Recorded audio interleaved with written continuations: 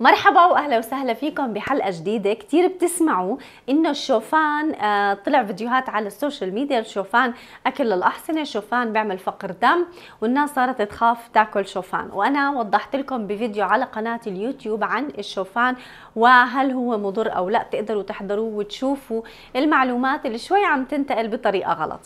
الشوفان أكيد مفيد بالصحة حتى لو بتاكلوا الأحصنة إحنا بنقدر ناكله زي أي حبوب تانية هاي أول إشي. الشوفان فيه مادة phytic acid بتقلل من امتصاص الحديد. نعم ولكن ال phytic acid موجود بكثير بقوليات لأنه أصلا امتصاصنا للحديد من المصادر النباتية مش زي المصادر الحيوانية. ولكن الشخص اللي بيعتمد نظام غذائي صحي وبياخذ غذاء متنوع وبياخذ مصادر الحديد من المصادر الحيوانية لحمة جاج كبدة ما في عندنا مشكلة بالحديد. عشان هيك بهاي الحلقة رح أحضر لكم وجبتين بالشوفان مفيدين جدا. بتقدروا تاخدوهم إذا عاملين دايت وإذا حابين تزيدوا وزنكم تقدروا تزيدوا كمية الشوفان. إذا عاملين دايت تقدروا تتحكموا بالكمية وتخففوا بكمية الشوفان عشان تكون مناسبة لحمية قليلة بالدسم وقليلة بالنشويات أو قليلة بالدهون. الوصفتين كتير صحيين شوفان ساخن وشوفان بارد. يلا نعملهم مع بعض ونبدأ بحلقة اليوم.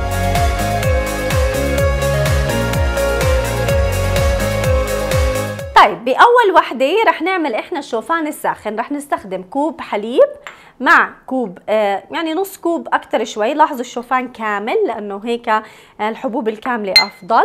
رح نستخدم شوية تمر حبتين أنا هيك مقطعتهم شوي شرحات. قرفة لأنه ما رح نستخدم سكر. وموزة نص موزة رح نحطها.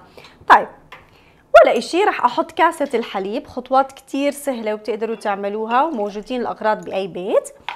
وراح نحط الشوفان على الحليب نتركهم يغلوا شوي. وراح نحط القرفة. تمام؟ وراح نحط ال آه شو اسمه؟ التمر. التمر مفيد جدا فيه بوتاسيوم فيه فوائد غذائية مفيد للطاقة هاي الوجبة كثير مفيدة حتى بعد التمرين أو قبل التمرين إذا تمريننا ماراثون وركض وبدنا مجهود بدني كثير طيب رح أحركهم شوي. أوكي. تمام. حركهم شوي. هلا عندكم خيارين. يا بتحطوا الموز بهاي الخطوة بصير هيك شوي اطرى يا بس تطبخوا شوي. فأنا قطعت قبل شوي نص موزة راح أحطها هلا خليهم كلهم يستووا مع بعض. نص موزة وراح اخلي وراح نزين بربع موزة بعدين. شايفين؟ يعني كمية نص الموزة وحبتين التمر صغار صغار يعني تقريبا حصة فاكهة. هلأ رح أخليهم ينطبخوا على النار وهاي الوصفة كتير طيبة الصبح يعني فظيعة الصبح مشبعة جدا تعطيكم طاقة. إذا حابين أنتوا رياضيين وحابين تحطوا بروتين باودر ممكن تحطوا مثلا نص كوب من البروتين باودر آه، بعد ما ينطبخوا شوي تحطوهم وتخلطوهم مع بعض بصير. بس يعني هاي الوجبة مفيدة جدا. في ناس بحبوا ياكلوا شوفان جنبها مثلا آه، شرايح خيار وبندورة وبيض آه، مع بيض أو مثلا مع جبنة. بصير كمصدر بروتين تاني. رح نتركها على النار. الوصفة الثانية وصفة الشوفان بالمانجا رائعة جدا. مانجا عندنا للزينة. أنا مفرزة مانجا. حطولها من الفريزر. okay.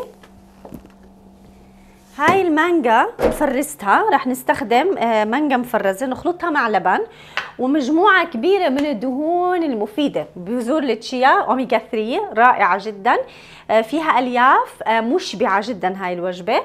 عندنا كمان جوز هند وعندنا كمان صنوبر شوي لذيذ. وعندنا الشوفان ورح نزين بالمانجا والفراولة. الخطوات كتير سهلة. خلينا نجيب ال food processor الخلاط اللي عندنا. تمام؟ أوكي.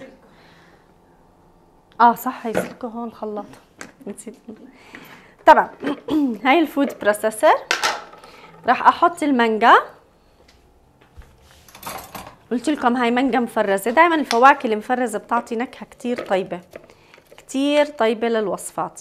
تقدروا تعملوا منها ايس كريم بوظه طيبة وتقدروا تعملوا منها سموذيز رح نحط لبن. لبن رايب.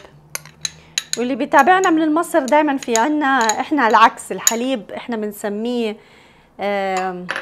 اللبن بمصر هو الحليب عنا يعني. رح نحط شوفان وبذور التشيا المفيدة الخلطة الرائعة.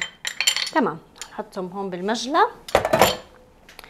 هلأ خلينا نخلطهم مع بعض بال food processor نتأكد إنه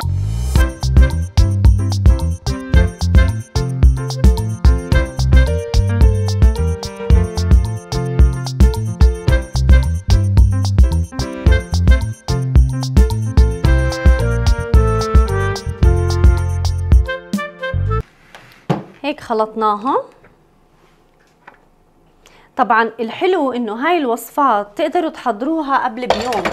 يعني إذا حضرتوها قبل بيوم تقدروا تحطوها بالثلاجه وأنا كثير مرات بالشغل بحب أجيب زي هدول التبرورات تقدروا تعملوه بالثلاجه وتحطوه بالثلاجه لثاني يوم.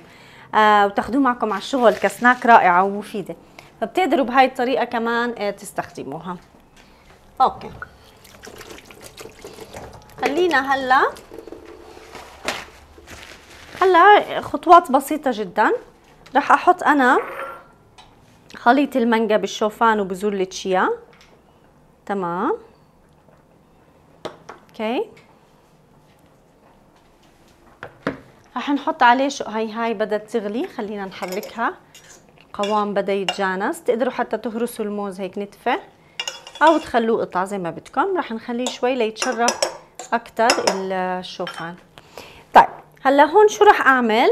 حاحط عنا ال حطينا أنا الشوفان رح أخليه شوي وبعدين رح نزينه بالفواكه بس رح أخليه شوي لأنه الشوفان راح يم يعني مع المانجو وهيك راح يتشرب ويصير آه يعني ثك أكتر.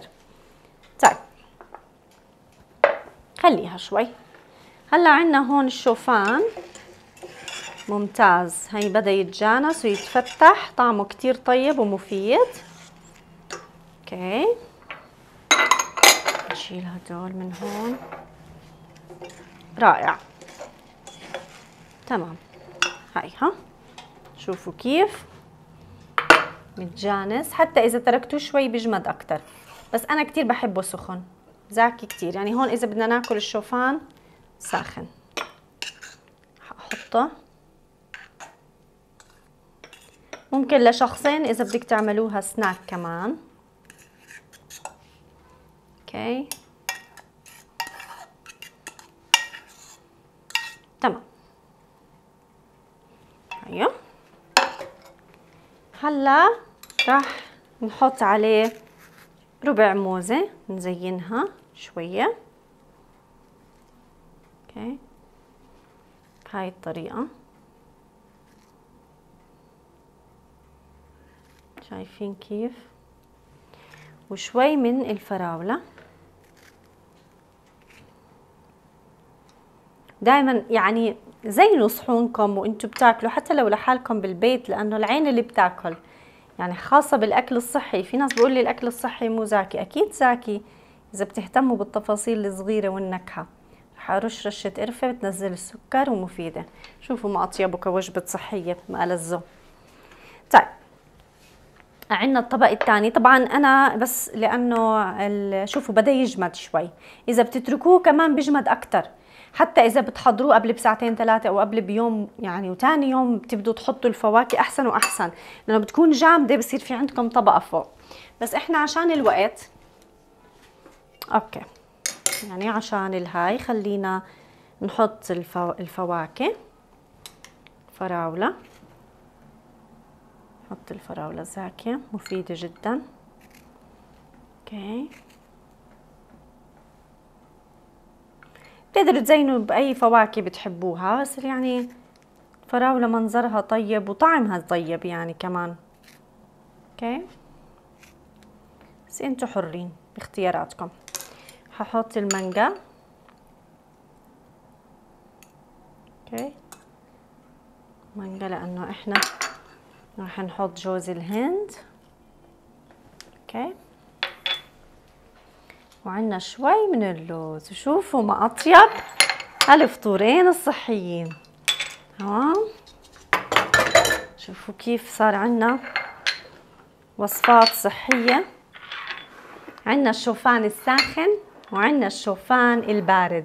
كسناك كوجبة صحية آه، بوجباتكم فطور عشاء مفيدة جدا غنية بالفوائد الغذائية. إذا حبيتوا هذا الفيديو تقدروا تعملوا subscribe بالقناة وتفعلوا الجرس. لما تفعلوا الجرس بوصلكم تنبيه لأي فيديو بنزله من وصفات ومعلومات تغذية ونصائح للرجيم وال diet.